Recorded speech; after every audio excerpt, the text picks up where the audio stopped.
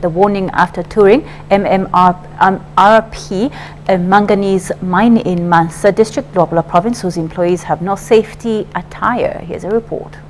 Has one of the highest grades of manganese in Luapula province. The grades here range between 38 to 40 percent and every day hundreds of tons of manganese are loaded and transported out of the country. 600 to 800 tons of manganese is what is produced here every month. But those behind this huge production have nothing to show for it. aifuta vatisakamana kuli kampani twalichula kwena kuvika mwatusanga kwena imagine uh, 5 tan kuti munoitisha 100 kwacha ero vena varoisha nangu ati eh kwena kuti timurevo mbefo so eh, emurandiutiroitishanya kuko vati.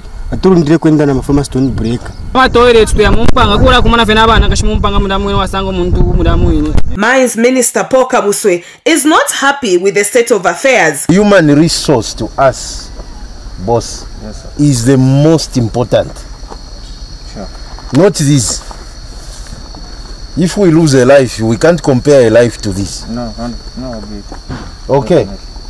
So can we be organized and treat these people well? And the workers are looking for something better. ifimwe abapumikisha ero twamonanga abantu imwe twafweni tuli bena zambia fichinje fintu kwaba bonse mulemo n'amayumenti bafola lero liini lyonse libesa ffe n'otutambala tuya tuline tuya bashita pamina The minister has since cautioned MMRP to improve the workers' conditions or risk having the mine closed. Safety is key, and I want to appeal to all our investors countrywide that we are not going to compromise on issues of safety.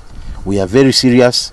We are ready to, to close down if somebody doesn't want to adhere to safety rules because Tamara Mswala, ZNBC News in Mansa, Luapula Province. Time now for education news and coming up on the segment, the 2021 GCE examinations record a 13% failure rate. Join me for details shortly. Come, come pursue your